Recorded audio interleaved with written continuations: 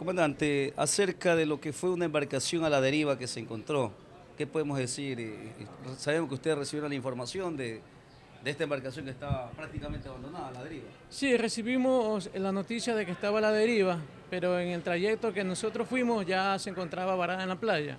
Eh, se dice, se presume que tenía dos motores, que una embarcación blanca se acercó y sustrajo el otro motor. O sea, no nos cuenta nosotros porque no vimos. Lo que sí contamos es que la embarcación es grande, eh, tiene un motor que ya estaba a punto de sacárselo y se le llevaron la tapa del motor.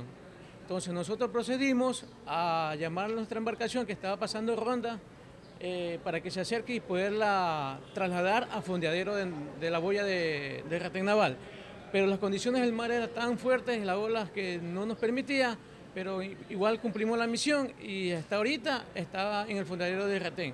Pero vamos a proceder a llevarla hasta, hasta la playa de Retén para tener más seguridad de esa embarcación. Eh, la embarcación tenía eh, capacidad por ubicar dos motores, apenas tenía uno ahí, ¿no?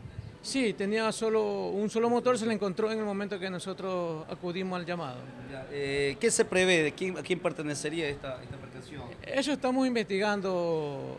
Eh, ya viene el Departamento de Inteligencia de la Capitanía, ya se encarga de averiguaciones y todo el trámite correspondiente.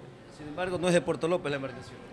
Mm, no sabemos. De Puerto López no creo que es porque yo nunca he visto esa embarcación aquí pero estamos en averiguaciones para verificar con el dueño o propietario de la embarcación.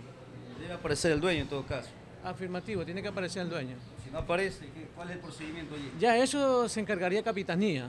Ya, yo no puedo disponer de eso, ya se encarga mi ente superior, que es el director regional de los espacios acuáticos de Manaví. Si es ecuatoriana en todo caso la, embarcación. Claro, la, embarcación es ecuatoriana porque tiene, es de manta todavía, porque tiene la matrícula B040 algo más.